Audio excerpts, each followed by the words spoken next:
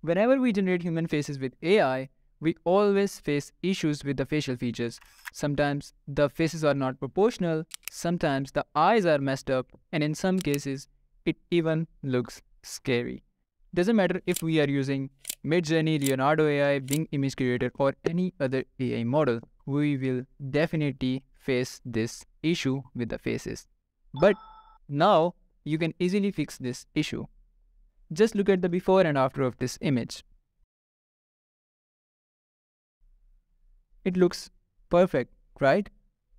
So I'm very excited to share this new AI tool with you guys. So without any further delay, let's fix our AI portraits. So this tool is from Tencent, which is a Chinese multinational technology company, and they are doing incredible job in the tech industry. And here they are offering some of their free tools like face restoration, human matting, and animation enhancement. But we will only try the face restoration tool in this video. So this tool is so simple to use. Just click the upload button and select the image you want to fix. So this was the image that I generated using Bing Image Creator. Just upload your image and after some kind of processing, it will provide you the results. And look at the results. So this is the before and this is the after. It just fixed everything it made the face fully proportional, it fixed the teeth and eyes, and now it looks like a real human portrait.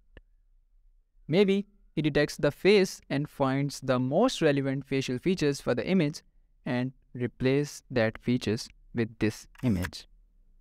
So here are some of the examples that I tried and look at the before and afters. Some of these images are generated with Leonardo AI and some from the Bing image creator.